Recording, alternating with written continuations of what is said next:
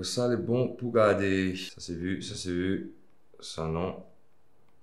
Elvis. Allez là. C'est Guillaume Moirot sur Canal Plus pour la reco. Alors, Elvis Marmaille. C'est un film que m'en a kiffé. Le film m'a gardé dans l'avion quand on m'a mis la réunion. Je devais aller voir au cinéma, mais j'ai pas eu le temps. Donc, euh, j'ai kiffé parce que déjà, je suis, fan du chanteur et euh, curieux de connaître sa vie.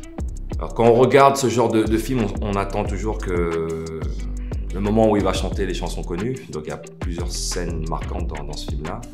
Mais c'est vrai, euh, vers la fin, euh, où il est un peu mal en point, et là, il monte, sur scène et puis il donne tout. Faut dire que j'ai eu un petit frisson traverse le corps comme ça. Une partie de ma vie, c'était vraiment la rigueur, le travail. Il boit pas, il fume pas, il prend pas rien. Et ben là, c'est tout l'inverse. Moi, j'ai été attristé parce que on voit que l'argent, ça a toujours été le nerf de la guerre. Et, dès qu'on enlève le côté humain, ben, il reste plus grand-chose. On est en 2023 et puis on parle encore euh, Black Lives Matter et tout à fond.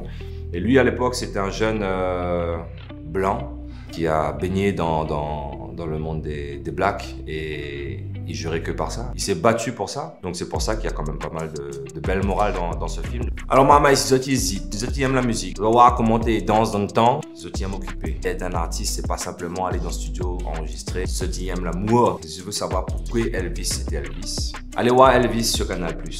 Il vaut la peine. C'était Guillaume Moirot sur Canal+, pour la rencontre.